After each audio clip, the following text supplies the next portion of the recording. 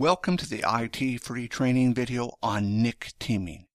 NIC teaming is the process of combining multiple network cards together to form one connection. This video will look at what you can hope to achieve using this process and some of the limitations. NIC teaming is when multiple network cards are combined together. Although Windows Server 2012 refers to this as NIC teaming, other vendors may refer to it as bonding, balancing, or aggregation. The result, however, is the same. Combining multiple network cards is done for performance or redundancy reasons.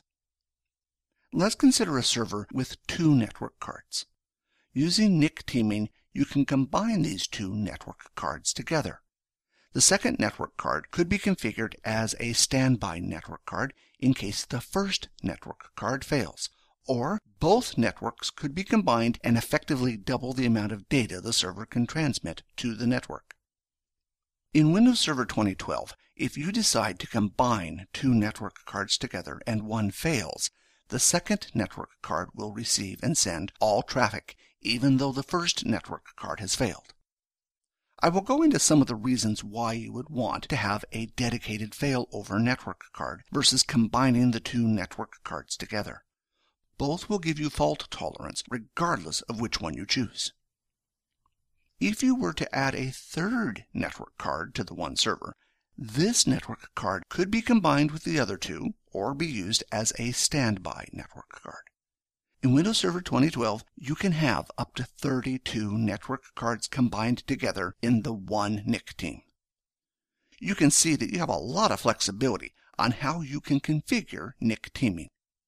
But before you start using NIC teaming, you first need to decide if you want to combine the switches on your network for NIC teaming or use them the way they are. The first teaming mode that I will look at is called switch independent. This does not require any configuration of the network switches on your network. In this mode, you can use one or more switches. Since it requires no configuration and can be used with any number of switches, it is the simplest and most flexible of all the teaming modes. For example, you could configure three network cards and plug them into the same switch. All these cards could be combined together to form the one NIC team. If you later decide to, you could add a fourth network card that was connected to a different switch. Now consider a second example. You have a fast network switch and a slow network switch on the same network. The fast network switch does not have that many ports, so you want to plug as many servers into it as possible. But you also want some redundancy on the network. For this reason, you plug an active network card into the fast switch and a standby network card into the slow switch. You can see this is one reason why you would want to configure a network card as a standby network card. Later in this video, I will go into some of the other reasons why you would want to use standby network cards rather than combining the network cards together. But before I do that, I will have a look at the next two teaming modes. The next teaming mode is static teaming. This teaming mode uses the network protocol 802.3ad to combine multiple ports on a switch together. When static teaming is used, the ports on the switch need to be configured to use this protocol. If you do decide to use static teaming, the cables need to be plugged into the correct ports. Static teaming is unforgiving if you plug the network cabling into the wrong ports in the switch. Since the switch needs to be configured, all the NIC team members need to be plugged into the same switch. You cannot use multiple switches like the previous teaming mode of switch independent. Although in theory you cannot use multiple switches, some vendors do allow switches to be combined together to form the one switch. If your vendor and the switches you have allow them to be combined so that Windows sees multiple switches as the one switch, you can use static teaming with multiple switches.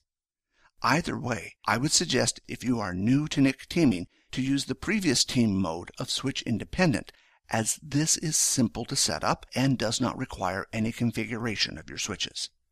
Having to configure your switches does complicate your network, and if you are new to switch configuration, this can be a difficult task. The advantage of configuring your switches for static teaming is that this allows packet-based load balancing.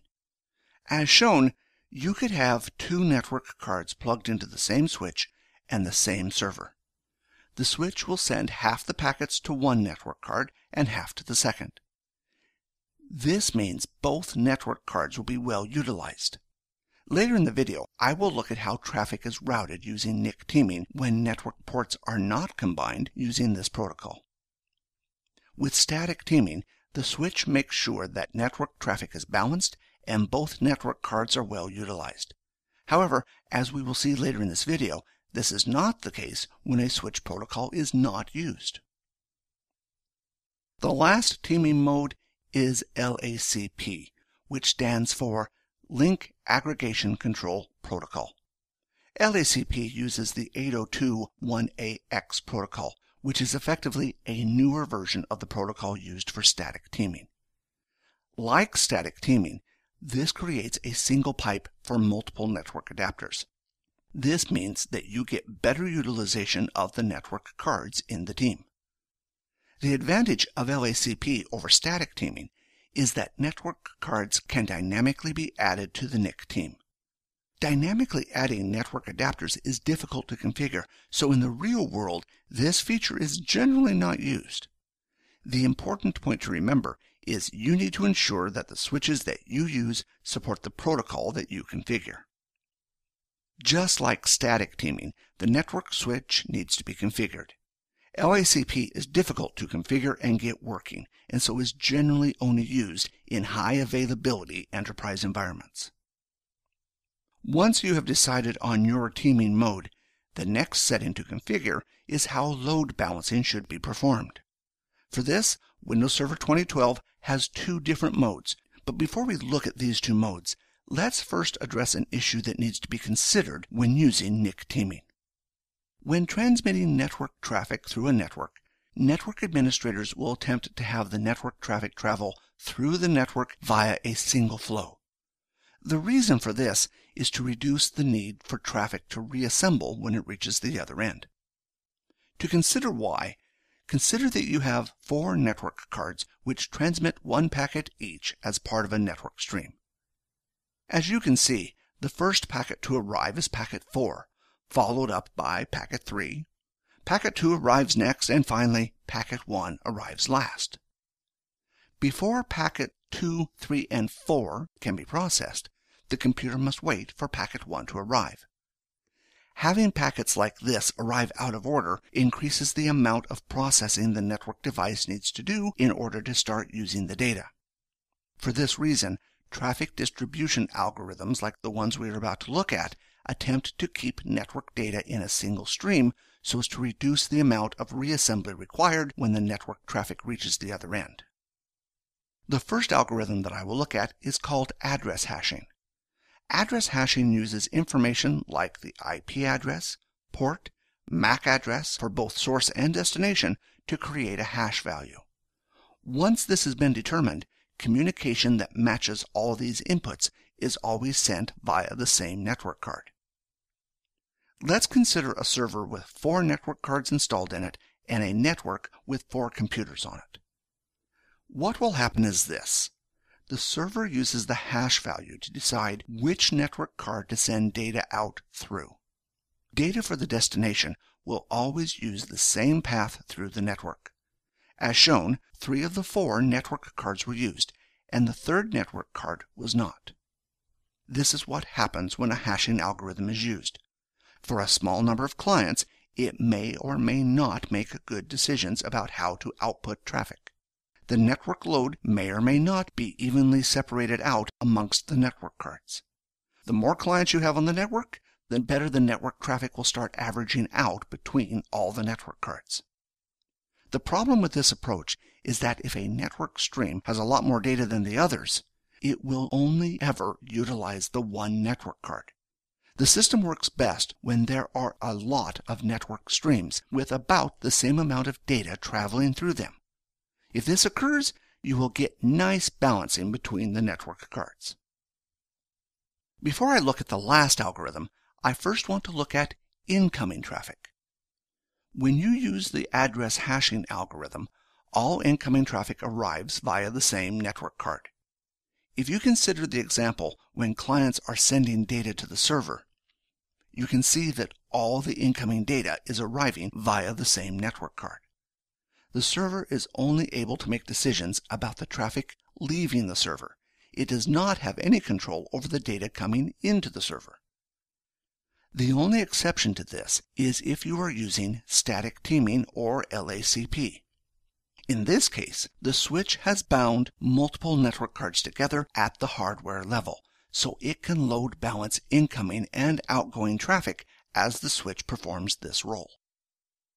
If the network cards are not bound together on the switch like this, the next traffic algorithm can assist with incoming traffic control if you are using virtual machines.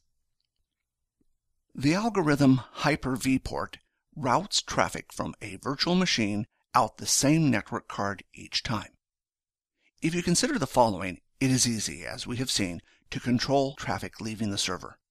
Hyper-V switch port can also make sure that incoming traffic comes back through the same port as shown. How does it do this? It should be remembered that each virtual machine has its own MAC address. What essentially happens is that NIC teaming uses this MAC address on the network. Like any other device on the network, the traffic will find its way to the network adapter that has that MAC address.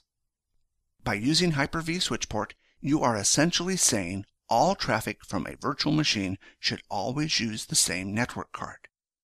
This does not give you any performance increase, but does mean that if a network card were to fail, NIC teaming would automatically redistribute the load between the network cards that are available.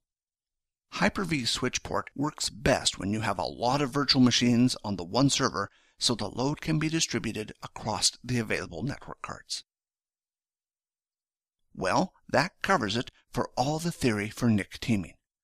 In the next video, I will perform a demonstration of Windows Server 2012 to show you how to configure NIC teaming. I hope you found this video useful, and I hope to see you in the next one. Thanks, and see you next time.